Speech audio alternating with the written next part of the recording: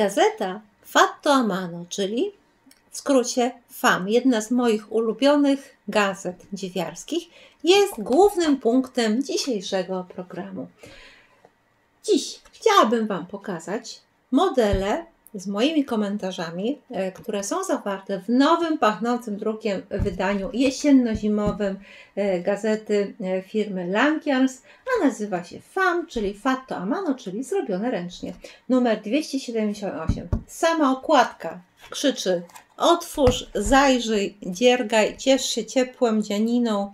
Do tego ciepła dzianiny jeszcze musimy chwilę poczekać, no bo mamy, film jest kręcony w lipcu, e, ale już jest dobrze wiedzieć, co będzie w trawie piszczeć, które włóczki e, są wyjątkowe, powiem Wam, że wszystkie, ale to tak, a które modele, na które modele już e, trzeba szukać wolnych drutów, ostrzyć druty, czekać na włóczkę, bo nie wszystkie jeszcze włóczki z, tego, z tej gazetki mamy, ale sukcesywnie ku jesieni będą się pojawiały następne pozycje. Gazeta FAM, moja najulubieńsza, ponadczasowa. Za co kocham FAM? Kocham za ilość pomysłów w jednym wydaniu. Na stronie lankiars.com można kupić oddzielnie każdy ze wzorów. On kosztuje między 3,5 do 5 euro. Ale można też kupić gazetkę e, u nas. 47 zł kosztuje to nowe wydanie i ono jest naprawdę pełne inspiracji.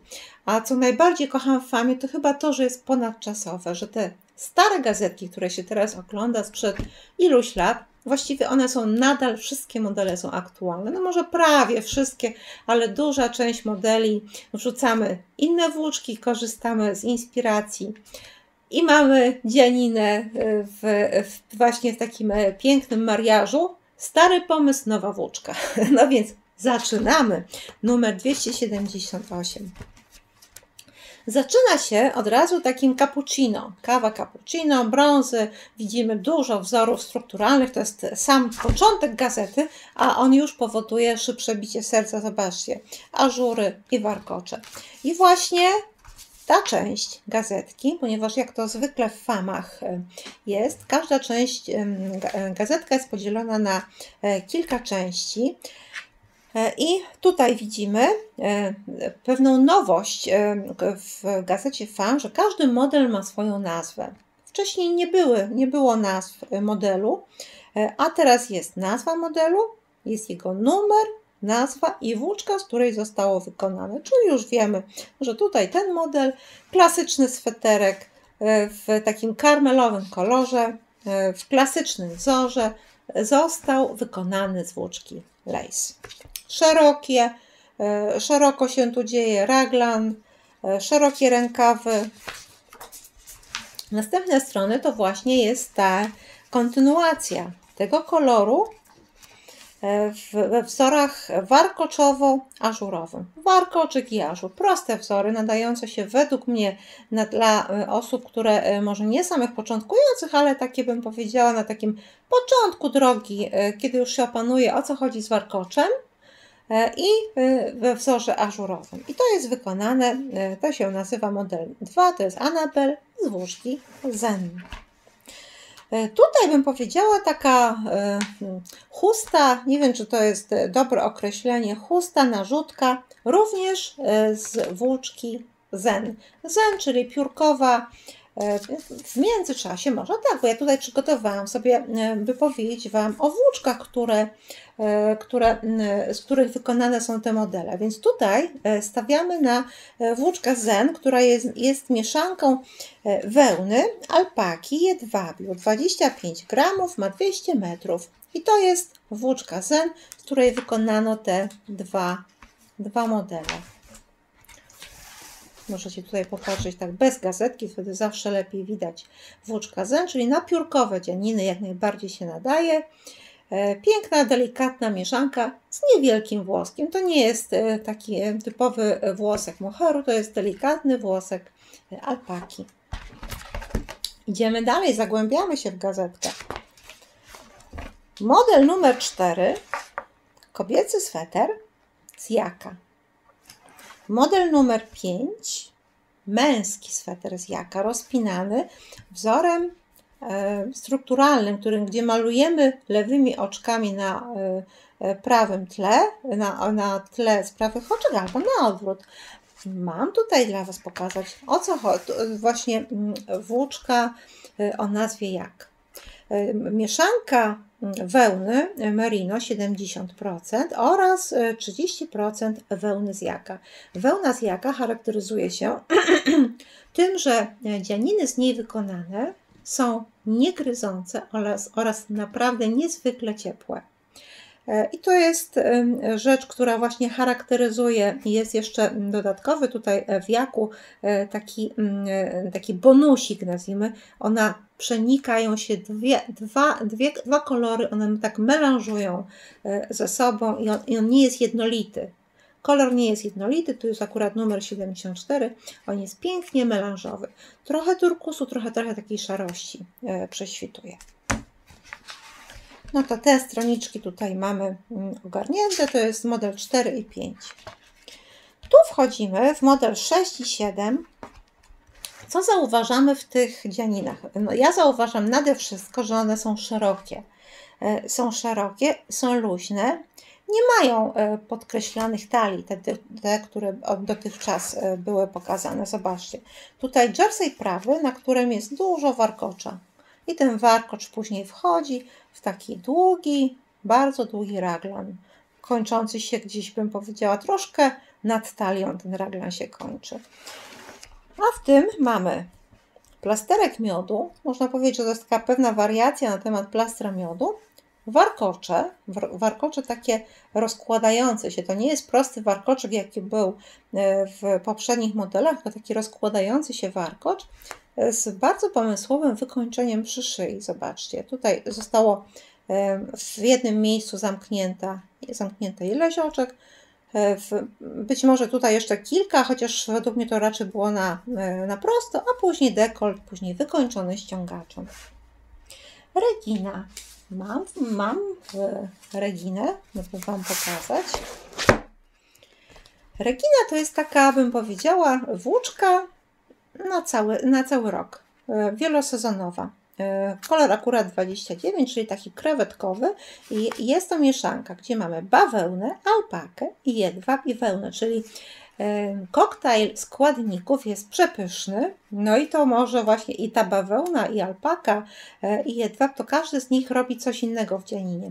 Alpaka nadaje temu lekkości i ciepłoty, bawełna pewnej ciężkości, jedwab pewnego połysku i jeszcze mamy tutaj, no tak, bawełna, alpaka, jedwab i wełna. No i troszeczkę wełny, 6% wełny.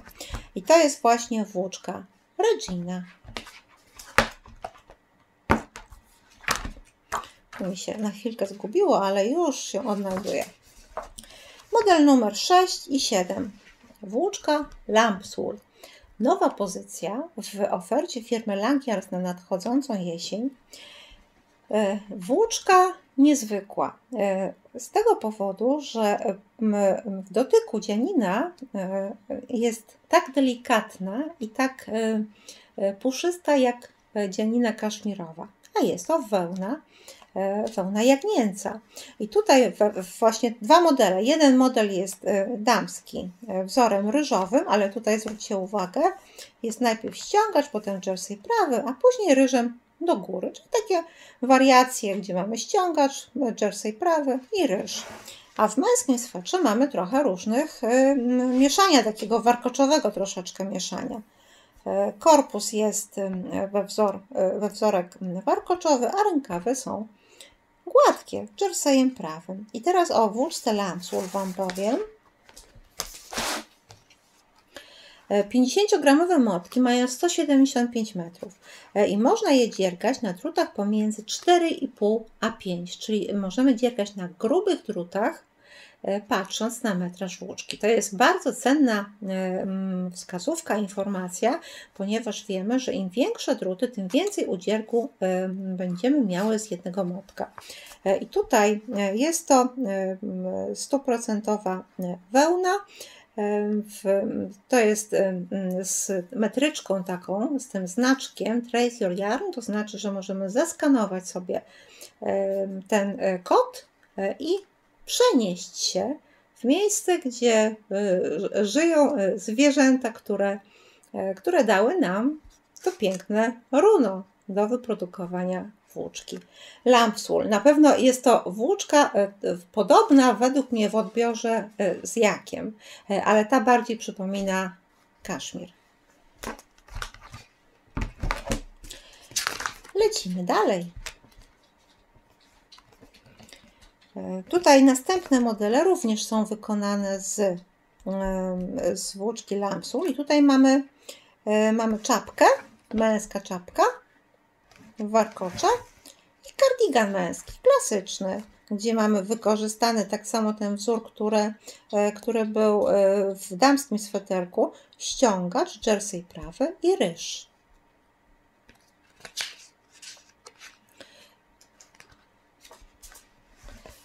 Przenosimy się w krainę zieleni. Czyli mamy tutaj model kapelusz, słuchajcie, zimowy kapelusz i sweterek. Sweterek z włóczki Joko. Włóczka Joko. E, e, to jest tweed, to jest taki zimowy tweed i zobaczcie, jerseyem prawym wykonany sweterek, a w, w pewnych odstępach kilka pasów z oczek lewych. Wygląda to bardzo fajnie. Teraz pokażę Wam włóczkę Joko. Do góry nogami. Joko, czyli jest to. Motki są e, puszyste. 50 gramów ma 110 metrów, jest przeznaczone na druty pomiędzy 6 a 7, 14 oczek i 22 rzędy to jest kwadrat 10 na 10. Na damski sweterek w okolicy rozmiaru M producent e, zaleca 8 e, motków owłóczki. I to jest mieszanka, powiem Wam, wielu składników. I bym powiedziała, że to jest taka mieszanka, z której można fajne swetrzycha i fajne takie codzienne, grubsze dzianiny wykonać, ponieważ mamy tutaj 36% akrylu, 27% alpaki, 21% wełny e, i 16% e, poliamidu, czyli e, różne składniki składają się na na ten zimowy tweet o strukturze łańcuszka, e, z którego możemy stworzyć czapki, kominy, szaliki, kardigany, swetrzycha. Jak widzimy w tym famie, również swetry noszone do spodni jako tak zwane swetry, e, nie takie zewnętrzne swetrzycha, ale jako swetry pod, pod um, ubrania wierzchnie. Prostymi wzorami, bo sama włóczka jest fantazyjna i ma kolorowe zgrubienia na sobie. Idziemy dalej. 14, 15 model to jest e, włóczka Malulite i tutaj w tym modelu e, ozdobne są rękawy. Korpus jest grzeczny, jakiś prosty wzorek wybrany, to możemy zrobić ryżem, możemy tym takim, e, powiedziałabym, fantazyjnym, jakim to jest wykonane, a rękawy są ażurowe. Model numer 15 to jest golfik. Golfik, którym jest jerseyem wykonany korpus, jest raglan, a rękawy są ryżem wykonane. No i później e, golf e, dorobiony, dwa prawe, dwa lewe. Przynajmniej tak to wygląda. Na razie się nie wdrażam e, w samo wykonywanie wzorów. Jest to przegląd anonsujący gazetę FAM. Zazwyczaj przeglądy prasy są czynione na na live'ach, ale e, Gazeta FAM zasługuje na po prostu oddzielny filmik, do którego można sobie wrócić. No i tutaj mamy włóczkę Lampswool, to jest model 16 z Kashmir Dream. Dwie nitki połączone razem, przerobione razem. Model numer 17 to jest Lampswool połączony z Lace Lame, czyli zauważcie, Lampswool zostało przerobione w pojedynczą nitkę, czyli mówimy o tej włóczce przerobione w pojedynczą nitkę, dodany został Kashmir Dreams, dodany został Lace Lame, czyli błyszcząca niteczka e, cieniutkiego lejsa, który na przykład mam tutaj, tutaj mam w różnych kolorach, ale wyobraźcie sobie takie połączenie tej włóczki z tą włóczką. Oczywiście w pasującym kolorze, bo tutaj może niekoniecznie. 17 model, 18 włóczka Regina, chusta z włóczki Regina, czyli z tej włóczki. Już wiecie, bawełna, alpaka, e, jedwab i wełna. Model numer 19 bardzo interesujący, bym powiedziała, to jest taka e, sportowa bluza wykonana z włóczki Regina. Czyli mamy kaptur, mamy troczki do wiązania, prostym wzorem, sweterek z takim bez, bez podkroju pachy, tylko z luźnym rękawem doszytym. Wchodzimy w następną część E, gazety FAM. Tutaj mamy Carpe Diem połączone z alpaką. Rzut oka, czyli Carpe Diem, czyli mieszanka, e, mieszanka już tutaj zabiorę, żeby Wam pokazać włóczkę, mieszanka e, wełny merino alpaki i połączone z alpaką, czyli z stuprocentową alpaką rasy suri. No i to, to jest w podwójną nitkę. Na drutach numer 7 to jest podwójną nitkę, oczywiście nie te kolory, E, ale już wiecie, jakie to włóczki były użyte. Prostym wzorem, raglanem, bez, bez zapinania, nie ma tu guzików, nie ma dziurek, można sobie to na szpilkę, na grawkę taką ozdobną e, wydzierkać. Moher 21, włóczka, poezja. Nie ma takiego moheru na e, rynku, dotychczas nie było, który ma w sobie 21 mikronów, znaczy surowiec służący do produkcji tej włóczki ma tylko 21 mikronów i 25 gramów moteczek i ma 375 metrów. Najcieńsze, najdelikatniejsze. I tutaj Wam pokażę e, moteczek. Akurat trafił mi się w szarościach do pokazania. E, w, w takiej e, stopniowaniu delikatności w moherach firmy Lankiars to jest tak. Moher Lux, e, jak się go dotknie, to jest wow. Gdy się dotknie lace, to jest o rany, jakie miłe. A jak się dotyka to, najpierw się dotknie moher lux, potem lace, a potem to, to jest o rany, to nie jest możliwe, że to jest moher. To są takie wrażenia dotykowe, jak gdy dotykamy po kolei każdego z nich. Gdy nie mamy porównania, to jest, y, to się tego tak nie odczuwa. Ale jak sobie położymy trzy motki koło siebie i każdego z nich dotkniemy, a jeszcze zamkniemy oczy i nie wiemy, czego dotykamy, e, to później się okazuje, że jak mamy ułożyć pod względem delikatności, to jest tak, Moher Lux, Lace i na końcu e, Moher 21, który niebawem pojawi się e, w naszej ofercie. E, no wadą jest, no tak rozumiecie, że wadą czegoś tak delikatnego jest cena, ale wrażenia dotykowe są niesamowite. Są takie podobne do dotykania dzieliny z lampsula. To takie, takie to się podobnie, podobne emocje. No i tutaj mamy model 21. To jest taki szaliczek, mini szaliczek z różnych kolorów, wydziergany francuzikiem, dodawane oczka, a potem zamykane oczka. Model 22 to jest trochę mieszania kolorami w, w tej mm, e, w, w przerabianiu tej luźnej kamizeli. Kamizela. Model numer 22 to jest komin. 24 to są takie same y, zarękawki, można to nazwać. Model numer 25, kamizela. 26, tutaj jest kamizela bez wykrojonego dekoltu, a tu mamy z wykrojonym, głębokim dekoltem, e, luźno dziergana. Model numer 27 i 28 to jest męski sweterek, tutaj i damski z kapturem. Przepiękne wzory, połączenia wzorów. Widzimy, jak, jak przyjmuje wzory z kapturem. Model numer 29 to jest włóczka Enia i jeden z niewielu sweterków, który jest wykonany wzorem żakardowym. Właśnie tutaj Eni szukam. Enia ma wiele kolorów, jest to taka jednobarwna siostra e, włóczki Karina, mieszanka alpaki e, z poliamidem 50 gramów 150 metrów na sweterek potrzeba około 6 motków 7 e, włóczki Eni. Model numer 30 to jest e, również e, rzecz wykonana z włóczki Enia. Ażurowo, bardzo warkoczowa. Tutaj warkocz jako warkocz nie występuje, ale występują krzyżowania tego jerseyu prawego na tym tle lewych oczek. E, model numer 31 to jest Enia, kamizelka 32 Enia z przepięknym panelem warkoczowym na środku i rękawami, które są wykonane ściągaczem. Model numer 33. Znów mamy lampswool i to nawet w tym kolorze. A tutaj mamy lampswool połączony z lejsem. Klasyczny sweterek e, z dekoltem w szpic, z delikatnym e, rękawkiem, nie za szerokim. Taki powiedziałabym, e, każdej z nas w szafie się takie coś przyda. Model numer 35 to jest włóczka Yoko, czyli ta włóczka, ten zimowy tweed. E, rękawki, ja wykonując e, taką dzianinę, przedłużyłabym rękawki, ponieważ e, rzecz jest raczej dłuższa i no, mająca dać ciepło, a tutaj ten fragment jednak obawiałabym się, że będzie mi zimno, chyba że takie zarękawki trzeba by pod spód sobie jakieś zrobić. Z kieszeniami.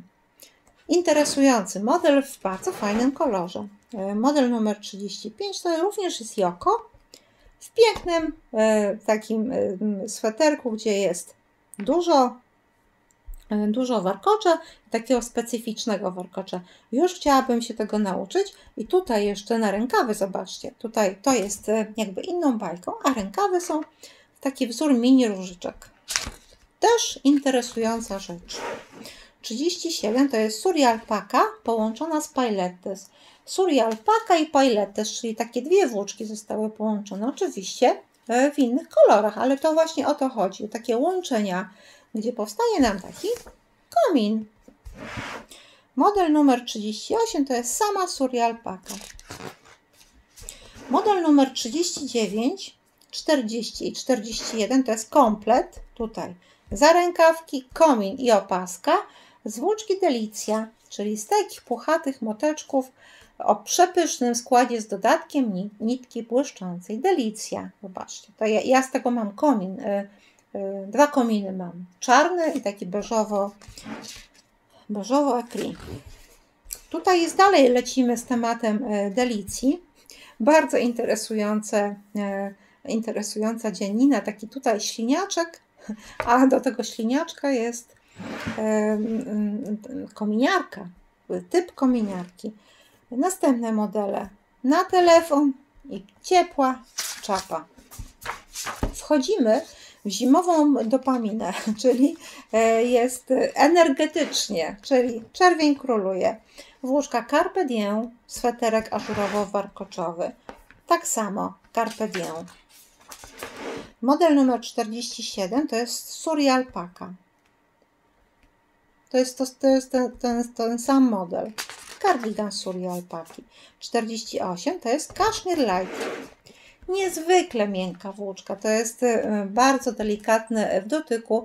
Ja Kashmir Light najbardziej widzę w czapkach czapkach, ewentualnie w kominach, ponieważ e, nie zużywamy takiej dużej ilości tej e, niezwykłej, ale też i, i, i za tym, co, co za tym idzie, mało ekonomicznej e, włóczki, ponieważ jej cena jest zdecydowanie no taka kaszmirowa, więc małe projekty jednak tak nie drenują nam portfeli, ale też pozwala spróbować mieć na głowie, na szyi e, taki luksus w postaci kaszmiru.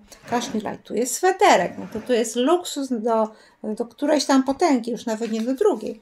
E, tutaj mamy model 49, to jest Alpaka Socks 6 fach. Alpaka Socks 6 fach to jest coś takiego. To są motki 150 gramowe. Tutaj mamy 390 e, metrów. Możemy z niej wydziergać, wiadomo, skarpetki, jak sama nazwa tutaj wskazuje. E, jest w niej alpaka i poliamid, ale tu widzimy, ja myślę, że ten sweter jest lekki, jest e, bardzo ciepły i będzie bardzo wytrzymały dzięki dodatkowi poliamidu. Model numer 50, Joko 51. E, Joko tu była czapka, a tu mamy sweterek pasujący. Model numer 52 to jest włóczka Cloud.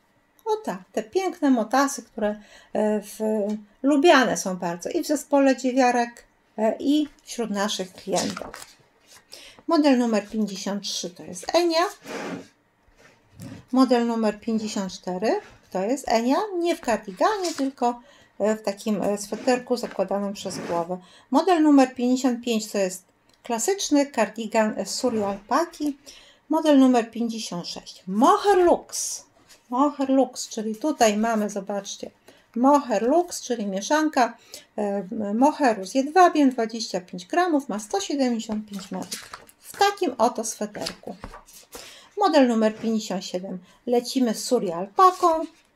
Szal, taki szal.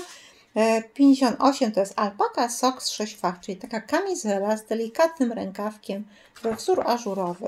Model numer 59 Malu Light. I to jest ostatni model. Malu Light to jest ta oto mieszanka. Świe o, to jest włóczka, e, powiedziałabym, naprawdę wielu sezonów, wielu projektów nadaje się na różne, różniste dzianiny używane dla, e, jako wykończenia, jako czapka, jako szalik, komin, e, tuniczki widziałam, też tuniki wykonane przez Was. I to jest 59 modelem. Kończy się gazetka. FAMie jest również e, podział na e, konkretne włóczki, to tak możemy to przeczytać, i modele, jakie występują z tej włóczki. I zawsze na końcu jeszcze jest, taki, jest takie nawiązanie do pewnego modelu, e, który występuje w gazecie. Tu jest właśnie ten szaliczek wykonany z niezwykłego moheru 21. Gazeta FAM numer 278. Mam nadzieję, że i u Was wzbudzi takie emocje, jakie e, wzbudza u mnie, gdy przeglądam tę gazetę, gdy przeglądam, planuję, wyobrażam sobie, e, wyobrażam sobie dzierganie, jakiś nowy wzór, wykorzystywanie tego jakiegoś jednego wzoru w innym, ponieważ to jest w dzierganiu najpiękniejsze, że że możemy sobie dowolnie e, kre kreować nasze e, dzianiny, wykorzystując pewne fragmenciki, pewne pomysły gdzieś, e, które nas zainspirowały. Jeżeli podobało Ci się dzisiejszy przegląd prasy Gazety FAM, zostaw nam łapkę w górze, subskrybuj nasz kanał i po prostu bądź zadziwiarką. Dziękuję za dziś, do następnego razu.